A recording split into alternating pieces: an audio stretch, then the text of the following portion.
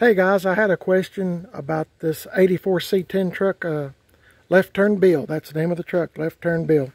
About the rear axle, the gear ratio. All I can tell you about it is that it says, uh, where's my finger? Rear axle standard. It's, it's not low geared. You could drive this on the interstate. I tell you a little secret. Let me shut this hood. Sorry guys, I was trying to do it where it didn't make a lot of racket and hurt your ears if you have on earbuds or headphones or something. But uh, my friend GM Tim has drove this truck when he put the motor in it. The motor and transmission, it's 354 speed. And uh, when I say drove it, I mean drove it drove it, drove it, drove it. And uh, it, it's it'll get on up there on the speedometer. I'll just I'll just say that. Uh, he said it's probably one of the best running trucks that I have. I know I'm always showing the driver's side. Seems like that's just because it faces the house. But here's the other side.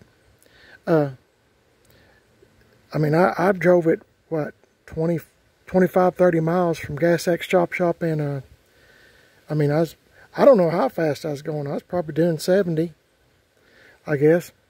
But uh, the speedometer does not work. And I, when I drive this truck more, I figure it out. I mean, where to go, uh, where I'm at on it. I was trying to do the speed limit. I, I felt like I was doing, you know, between 55 and 70. But I got a, oh, I got a tach in there that I need to pay more attention to anyway, uh, just thought I'd show you the truck. And I've been, I try to piddle on something every day to make improvements on something. And this one's sitting out here.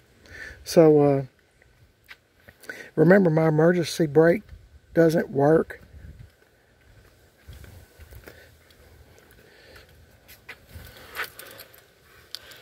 Hang on a second. Let me unlock the door.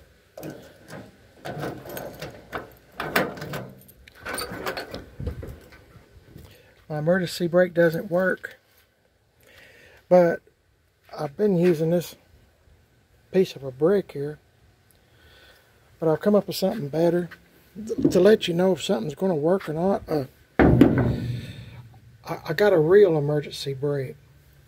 Right now it's off. Emergency brake off. Now when you go to put it under the tire, you need to always remember to put turn it on. So let's do that. I don't know if that was doing much good. I guess a little. So now, my emergency brake will be on.